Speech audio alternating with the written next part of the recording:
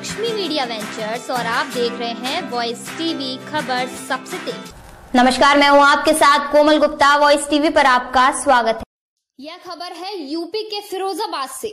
जी हाँ फिरोजाबाद में अब कोरोना पॉजिटिव की संख्या हुई 24 जी हाँ यूपी के फिरोजाबाद में दो और कोरोना पॉजिटिव पाए गए। कुल संख्या 24 हुई। अभी अभी जो छह पॉजिटिव पाए गए हैं इनमें एक तेईस वर्ष की महिला है, जो एक पॉजिटिव की पत्नी है।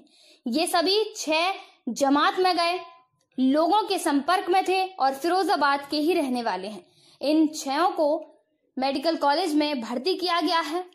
तो अब तक कुल कोरोना पॉजिटिव 24 हो गए हैं।